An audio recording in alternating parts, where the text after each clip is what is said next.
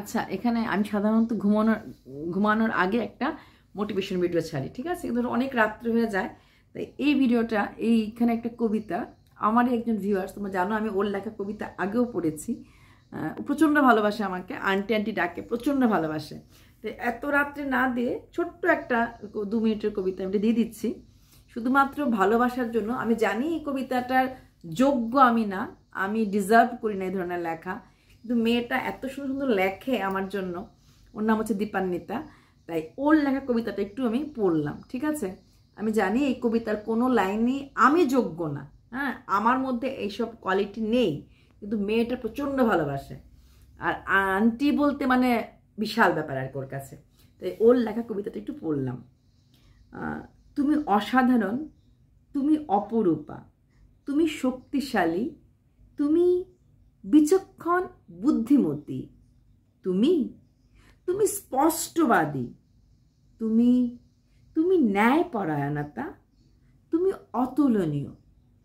তুমি নিষ্পাপ। তুমি পবিত্র। ঠিক এই ফুলগুলির মতো। তুমি তুমি তুমি তুমি তুমিতেই অনন্যা। তোমার সাথে নেই অন্য কারোর তুলনা। অসংখ্য ধন্যবাদ দীপান্বিতা এই কবিতাটার জন্য।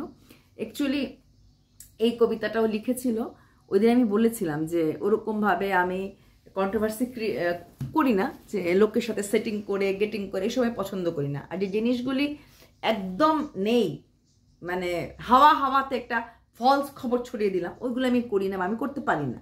যতক্ষণ আমি শিওর না হব, ততক্ষণ আমি হাওয়া হাওয়া খবর নেই। আর প্লাস আমি জিনিসটা পছন্দই করি না থ্রো কলিংয়ের মাঝে যে নানা রকম কন্ট্রোভার্সি ক্রিয়েটাররা করে এরকম ভিডিও আমি দেখি কন্ট্রোভার্সি ক্রিয়েটারগুলো ওদেরকে মনেই করি না।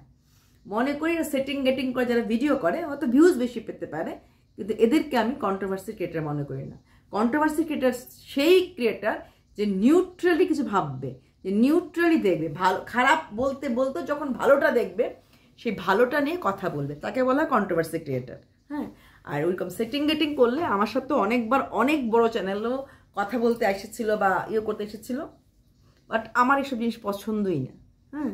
কারণ একটা চ্যানেলের হয়ে কথা বলতে গেলে যখন আমার সাথে তার সাথে মিশবো, সম্পূর্ণ তার হাতের চলে আসতে লাগে, সেটা আমি পারব না। একটা মানুষের হাতে চলে আসলে যে আমার কিছু লাভ হবে, পরে যখন আমি কারোর ভুল দেখব, তখন আমি সেটা বলতে পারব না, সেটা হয় না। যদি আমার মনে হয় এটা ঠিক এটা ঠিক, এটা ভুল এটা ভুল। সেখানে সে আমার লোক সে আমার, আমি তাকে নিয়ে পজিটিভ করি, সেটা আমি বিশ্বাস করি না।